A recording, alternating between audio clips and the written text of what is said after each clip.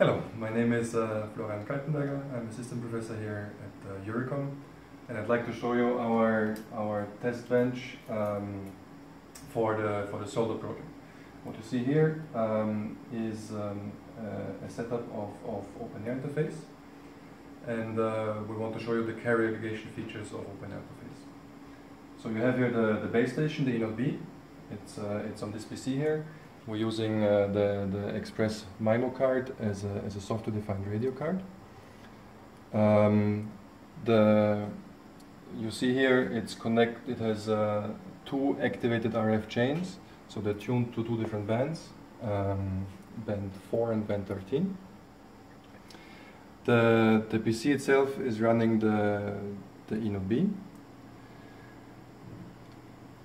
We also have um, a core network. The core network is here on this um, on this laptop.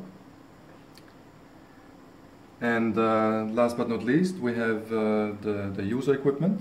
So the user equipment is uh, is provided by by Sequans. Um, and um, what I want to show you is first of all the, the connection procedure. So the first thing I'm going to do is I'm going to power on the, the UE. Okay you can see that the, that the UE connects to the base station. You see some of the signals um, here in this in this window. You see the um, completed connection procedure with the with the UE capability information. At the moment, there's only one uh, carrier configured, one 5 megahertz carrier configured. So let's measure the, the, the throughput um, at this configuration. So I can I can launch here a, a, a speed test.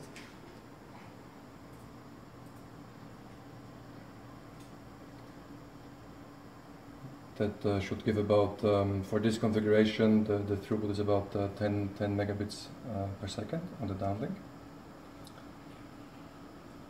So I have to say that this is a, is a cabled um, setup. So at the moment we're not using any antennas, we use uh, cables uh, with an attenuator um, in the middle. And um, now I'm going to activate um, the second carrier. So this little interface um, that I can use to activate the second carrier. Okay, you can see here in the logs um, that the second carrier has been activated. And I can run the speed test again and let's see um, what throughput we get now. Should be approximately double of what it was before. Okay, so it's even more than double, which is nice.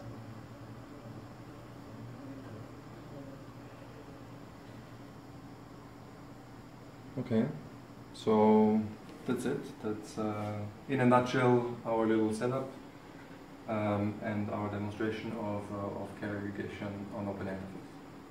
Thanks.